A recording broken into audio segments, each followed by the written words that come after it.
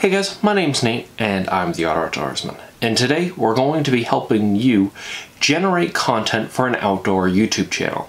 Now, on this video, we're going to be talking about marketing, SEO, making money, gear and tech.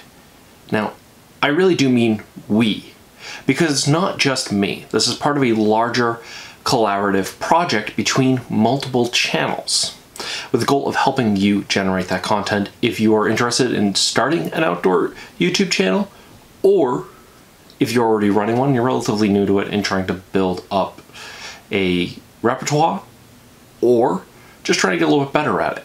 There's going to be two other videos of this and you'll be able to find it on the channels The Last Grown Up in the Woods by Carly and The Backpacker Diaries by Amos.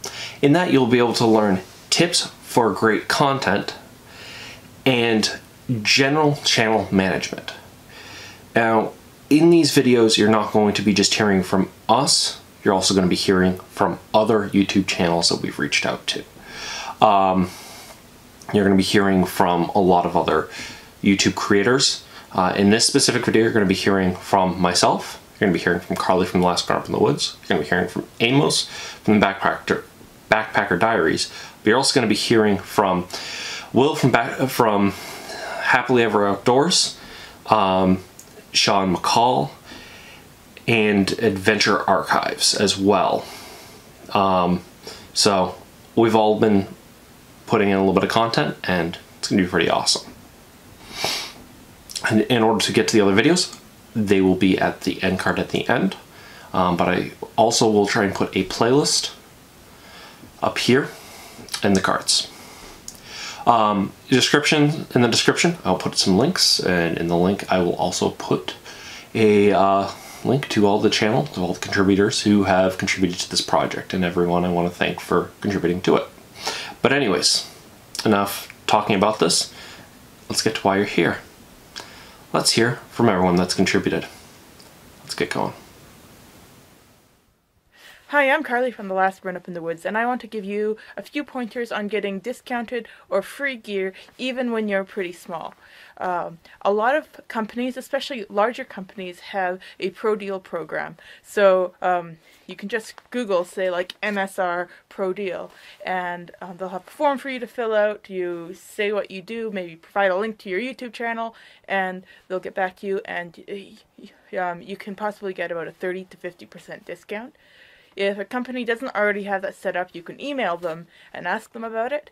Smaller companies are often very happy to um, give give discounts and even free gear. So in your email, you can say something like um, you're willing to do a review or an introduction to their product in exchange for a free uh, free product. Make sure you focus on how it will benefit them. And you can also mention that you're okay with demos or cosmetic seconds because sometimes they kind of have a pile of those and they're not sure what to do with them. And we love free stuff. I don't care what it looks like. I don't care if it's slightly used. So a dollar saved is two dollars earned if you're smart with that saved money. However, it's not really a dollar saved if you're getting discounted gear on gear you wouldn't have purchased anyway. So my advice would be to be careful. Um, and wait until you really want a product and you know you've, you've done your research and then contact the company.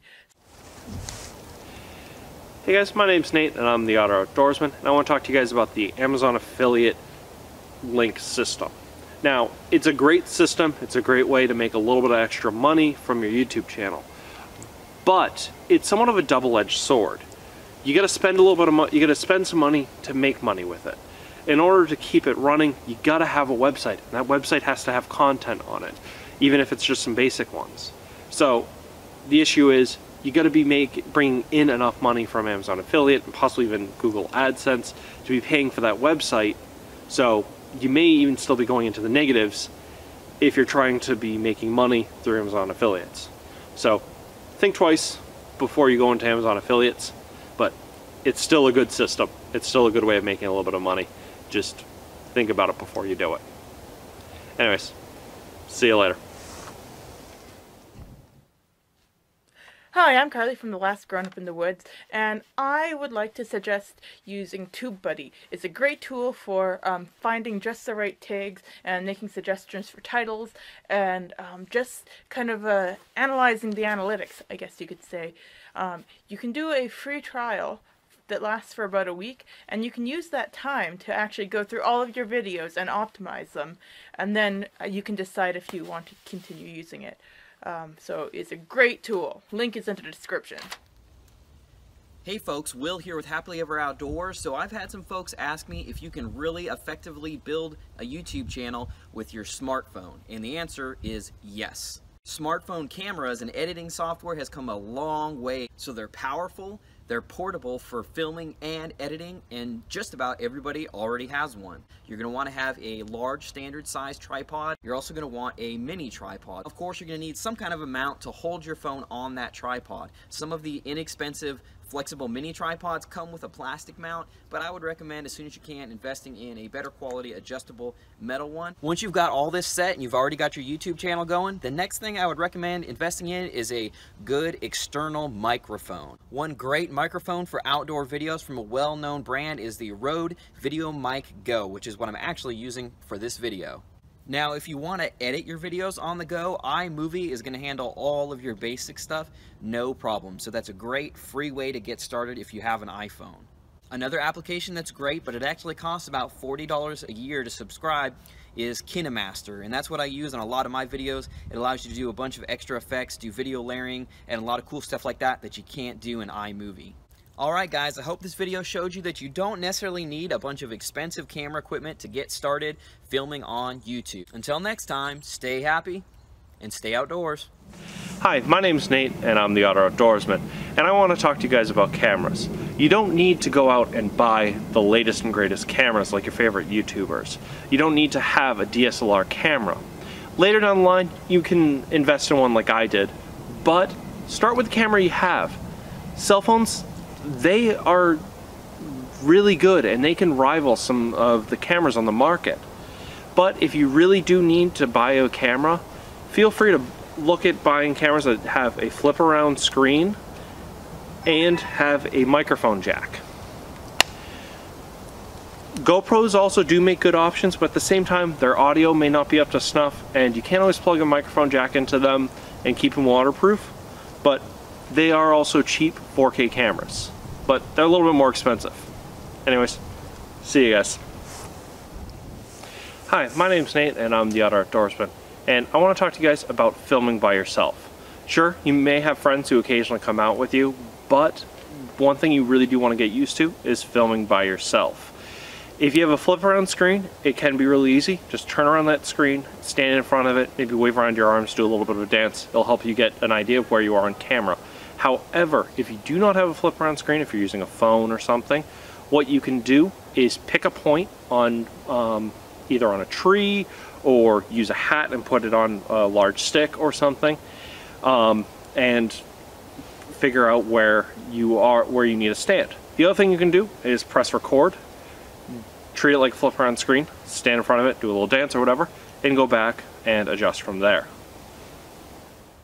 Hello, this is Amos with Backpacker Diaries with an editing tip first pioneered by Mr. Burns. No, not that Mr. Burns. Mr. Ken Burns, who uses a pan and zoom strategy with still images.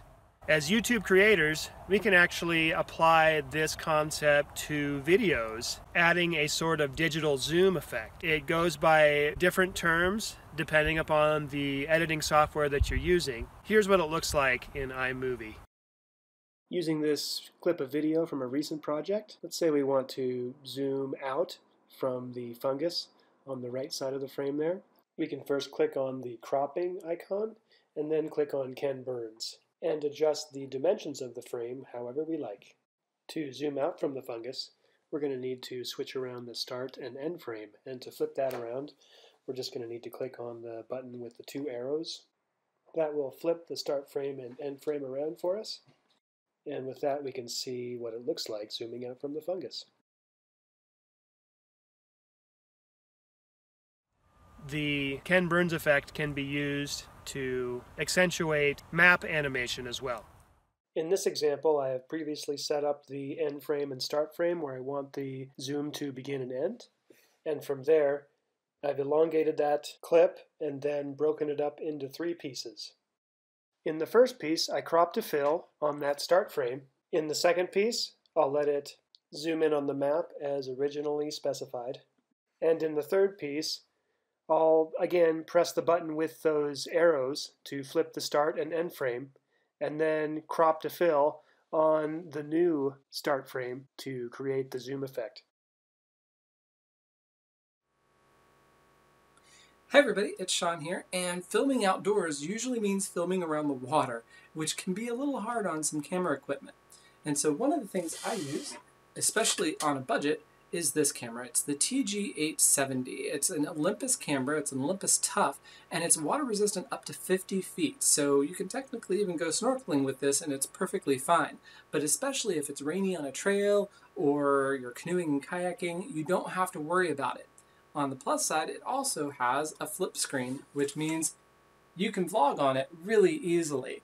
And its mic is pretty good too, and I have a pretty good time taking video and audio together with it without any major issues. And it's a tough camera too, so you can drop it and it survives quite a lot. Now, of course, if you go completely underwater, a great addition to this is the actual housing that goes along with this. And I use this when I go snorkeling and diving.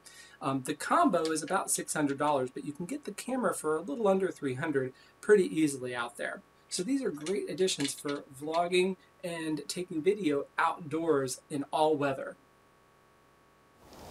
Hey guys, my name's Nate and I'm the Otter Outdoorsman. I want to talk to you guys about file storage.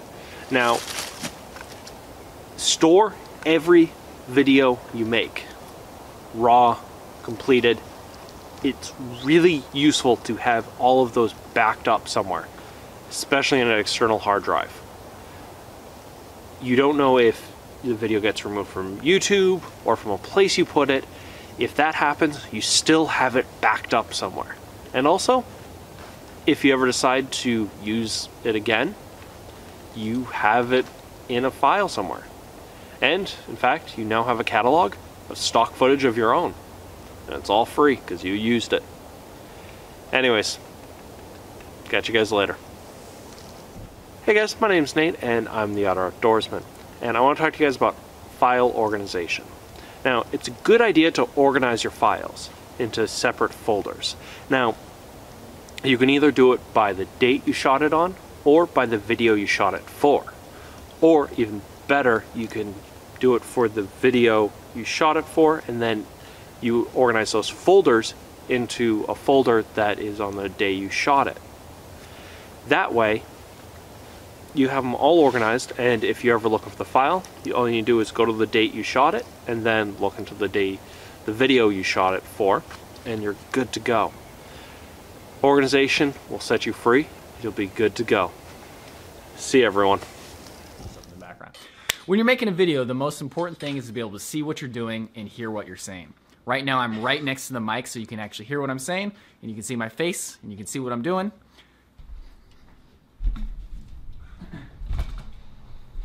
You guys keep doing stuff.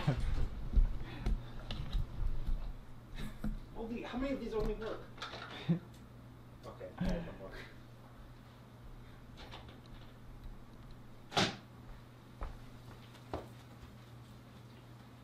But if you film from back here, you can't see what we're doing, and you can't hear what we're doing. And if you couldn't hear what I just said, I said, if you film from back there, you can't see what we're doing, and you can't hear what we're saying. I hope you learned something from everyone who contributed to that. I know I really did when I was editing it. Um, I want to thank everyone who contributed to this. Again, if you want to check someone out below, I'm going to try and post links down below to everyone's channels. Some great YouTubers who contributed to this. Some really awesome people. Um, if you are interested in checking out the other two content, which is tips for great content and general channel management, I will be uh, both putting a playlist, but you can also check out Carly from the Last Up in the Woods channel and Amos from the Backpacker's Diary. The, the videos are going to be going up at the exact same time um, because we are this is a collaboration between us. Um, so you can go check those out. There's gonna be a lot more tips from similar YouTubers um, that were in here. Uh, we've all been kind of divvying it out. So you get some really cool organized information. And you get some useful information as well from people who are out there and doing it. Um, but if you want to get to them, I'll put up some end cards to Carly and Amos's channel, and I will put up another end card to the um, playlist as well. But anyways, you guys have a good day, and remember, get out in the woods, have some fun, and if you have a camera, capture some great content, whether it's of you or something else. See everyone.